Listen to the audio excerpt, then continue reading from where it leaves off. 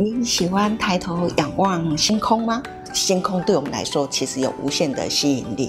那也是因为这样，我今天就要介绍这一本《星空不可思议》。在一年四季里面，你每天在天上，你会看到哪一些星星？你的星座会是在什么时候出现？譬如说，我自己是金牛座，可是当我想看到我的金牛座的时候，啊，金牛座是五月出生的。可是，是不是五月在天空看找我的星座呢？No，不是的。我要找的金牛座就要在冬天，因为地球会呃绕着太阳运行，那它绕着太阳运行公转一周是一年，所以呢，一年四季的星空都不一样。除了可以认识呃四季的星空，其实你还会认识太阳系的八大行星。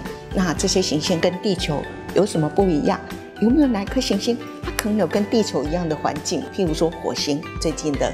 科学家在火星上其实有发现水，那有水就可能有生命。如果我们对太空认识多一点，可能就会启发我们的好奇心，进一步去研究。说不定有一天我们也可以到外太空去探险。这里面除了星星星座的故事，还会告诉我们星星的颜色其实都不一样，可能有蓝色的，可能有白色的，甚至有黄色的。还有红色的，这是因为啊，这些星星每一颗它们的寿命都不一样。蓝色的、白色的，它们可能是比较啊年轻的星星，温度是非常非常高的。如果是红色的星星，代表就说，嗯，它们已经有一点年纪了，温度已经没那么高了。在这本书里面涵盖很多很多的啊。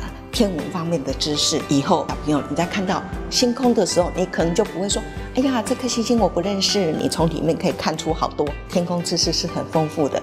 而且呢，当你常常观察的时候，他们真的就会像你的老朋友，每年会在固定的时间在那里等你。除了这个，其实还有一本书《月球不可思议》。中秋节的时候，我们不是都要赏月吗？那中秋的月亮真的特别圆吗？那月亮上又有些什么？我们每天会看到的是月球，可是你知道吗？你看到其实是月球的一面哦，月球的另外一面，它的背面，其实我们从来没看过。有谁在那里？有没有嫦娥？还是有没有玉兔？还是吴刚花卉就在那里？不知道，等着你自己从这本书里面自己去发现你想要知道的答案。